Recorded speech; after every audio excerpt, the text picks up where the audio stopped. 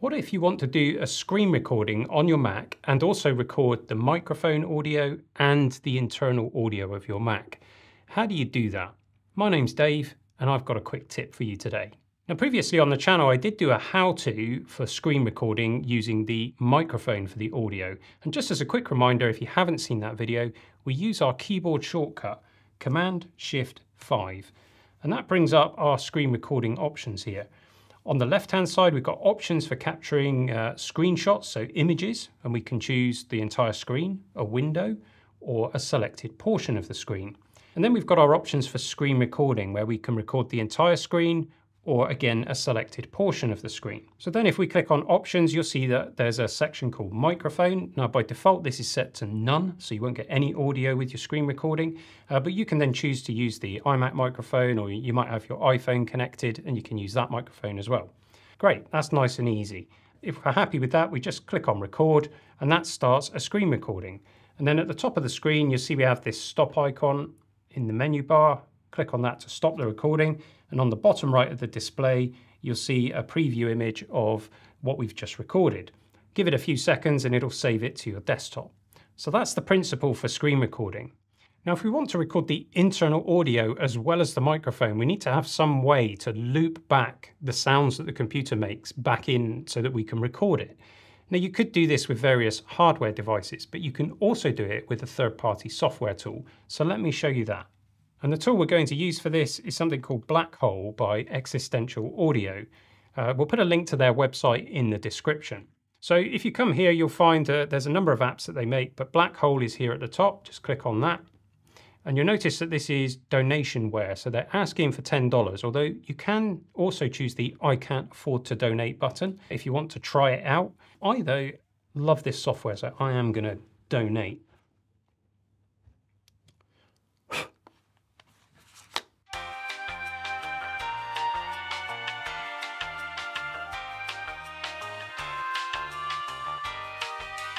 Okay, so now BlackHole is installed, but there isn't an app that's been installed on your system. What you need to just do is go up to the system settings. I'm using the latest version of Mac OS here. If you're using an older version, your settings might look slightly different, but uh, they work in pretty much the same way. So I'm gonna go to the sound section here, and you notice in the output section, I now have something called BlackHole 2 channel. Now, what is BlackHole? Well, it is a virtual loopback driver, so it just takes the system output and loops it back in so that you can record it. But we need to do something else here because if all we did was use BlackHole in its current format, you won't be able to hear the sounds on your computer whilst you're recording them, and we won't be able to combine the internal audio with the microphone of the system. So we need to go a step further here, and we do this by going into the audio and MIDI settings on our computer. And you don't find that in the system settings. Rather confusingly, you'll find it in your utilities folder. There's two ways to get to your utilities folder. So one way is to open your Finder window, go to Applications on the left-hand side. In here, down the bottom, a folder called Utilities. And inside there is the Audio MIDI setup. There is a much quicker way to do this. Let's just close that Finder window. If you're on your desktop Finder, so just click on your desktop and you see in the top left of the screen it says Finder. Now there's a keyboard shortcut we can use, Command Shift U, and that's going to immediately open your Utilities folder. Then double click on Audio MIDI Setup. And here we can now set up some virtual devices to get around the problem that we just mentioned. So if you go down to the plus icon at the bottom, we're going to create, first of all, a multi-output device. So just Click on that. Notice that BlackHole 2 channel is already selected for me. I'm then going to select the iMac speakers.